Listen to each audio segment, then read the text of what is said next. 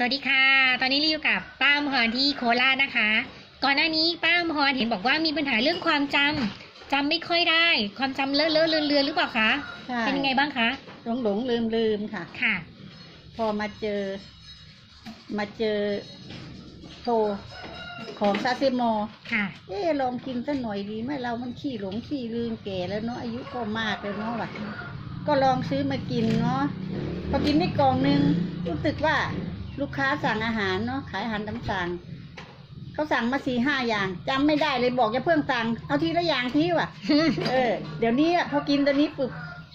พอกินปั๊บค่ะ รู้สึกว่าได้กล่องนึงน่ะ รู้สึกว่ากินอ้าวทำไมนอนหลับดีเพราะลูกค้าสั่งสามอย่างสี่อย่างรับได้หมดเลยจำได้หมดเลย รู้สึกว่าดีค่ะ อืม กล่องเดียวก็เห็นผลแต่ก็ต้องกินติดต่อกันถึงสามกล่องนะคะค่ะ ดีค่ะ นอนหลับสบายด้วยโอ้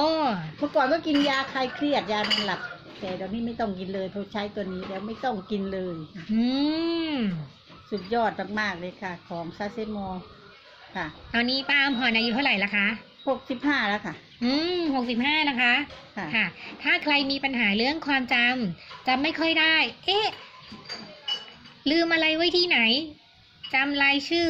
ไม่ได้จใช่ำกิ๊กคนที่หนึ่งกิ๊กคนที่สองไม่ได้เนี่ย ลองทานโฟลว์นะคะ ถ้าสนใจยังไงติดต่อป้าอมพรได้เลยค่ะ บ๊ายบายค่ะ